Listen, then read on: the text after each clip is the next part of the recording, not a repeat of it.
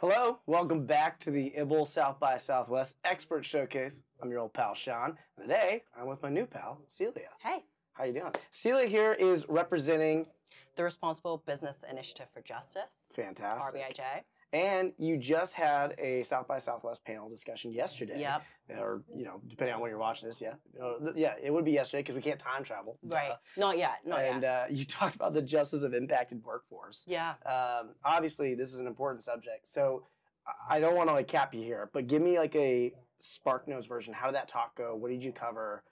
Where are you coming from?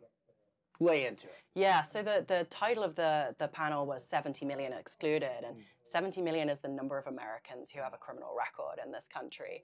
Um, and, and that number, it's, it's the largest percentage of a population of any society ever. You know, the US is conducting essentially a social experiment on how many people that you can saddle with a criminal record. In fact, it's it's such a big number. If it were a nation of people, it would be the 18th largest country in the world. It would be more people than in the UK, more people than France, more people than Canada. And so I think that this is something that people are increasingly recognize as you know a problem. Like we've essentially coined a phrase mass Yeah. incarceration in this country and the panel was really about um, like what are people doing about that? Like what are the solutions to that? Yeah. how do we stop uh, being uh, disturbed by it and start you know rolling up our sleeves to yeah. fix it? And there were three panelists uh, one of I'm gonna be I'm gonna be honest and say they're they're friends. You know, there are people that I've worked with for a long time in this movement, kind of my heroes actually. Um, so we had uh, a, a woman called Sheena Meade, um, and she runs an organization called Clean Slate Initiative, which is about clean slate legislation, Yeah. uh, which is using technology to seal criminal records when people are entitled to that. And so she was really talking about policy, legislation, laws that we can uh, be pulling down or enacting in order to kind of Sure. change the landscape for people that have experienced a criminal record. And we had Nan Gibson from JP Morgan Chase, biggest Oh, bank wow, in yeah. America, talking about how the bank has intentionally hired people with visible criminal records, That's which awesome. is not very easy for a bank to do because banks are restricted by a Right. federal law in doing so.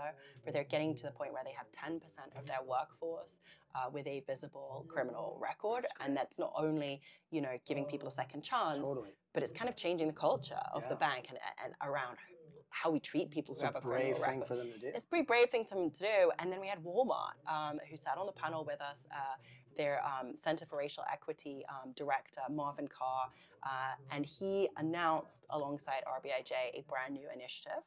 Uh, which is called Unlock Potential, and it's focused on preventing justice system engagement. And this is actually something that hasn't really been done. We've spent a lot of time in the criminal justice reform movement, which I've been in for a long time, um, uh, trying to mitigate the harm Yeah. of a criminal record um, and trying to uh, uh, uh, undo the damage uh, of communities that have been really impacted by the justice system. And what Walmart is doing alongside RBIJ is uh, looking at young people and essentially saying if we look at data uh, and research, can we get to a place where we are pretty clear on on, on which groups of young people Sure. are most at risk, most vulnerable Yeah. to ending in the justice system.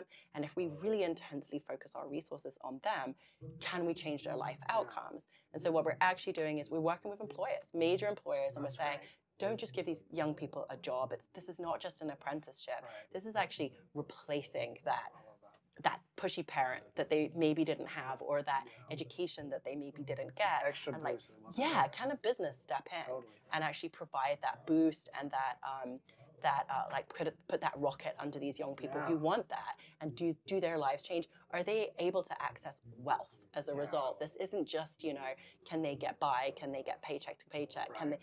Can We're they actually can, setting them up for yeah, success. Yeah, can we set Yeah. them up for success? And I do think over the last two or three years, businesses have increasingly recognized the value of diversity Right. within their workforces. And when we look at this group of young people, 16 to 24 year olds that are uh, neither in employment nor education, sometimes we call them disconnected youth, 91% are BIPOC. So if you're trying to find nuanced responses to like poverty and racism, Yeah. and especially if you're trying to bring it into your workforce, that is a, that is a young pe- that young people population um, is the one that we really should be focusing on. And so it's brand new.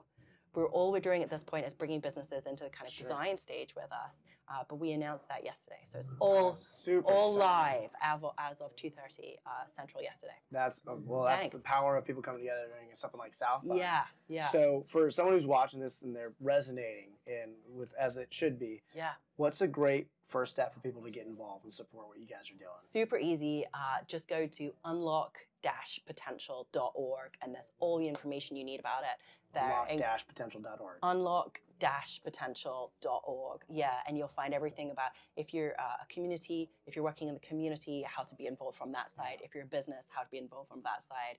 Um, how to learn a little bit more about it. Sign up for uh, for uh, uh, updates, etc., etc. So yeah, unlock-potential.org. unlock-potential.org. I love it. I mean, I I think this is absolutely. I mean, you're right. This this this has been so heartbreaking to see that people aren't getting enough of the support they need. I love Yeah. that you guys are coming along, commit to that. It gives me some hope. Yeah. and, and it's inspiring. So Yeah. thanks for doing the work you're doing. Doing the Lord's work. I appreciate you, and thanks for coming here to, to talk with us today. Thanks so much. Appreciate it. Absolutely. Go check her out. Give her some love and unlock-potential.org. Appreciate it.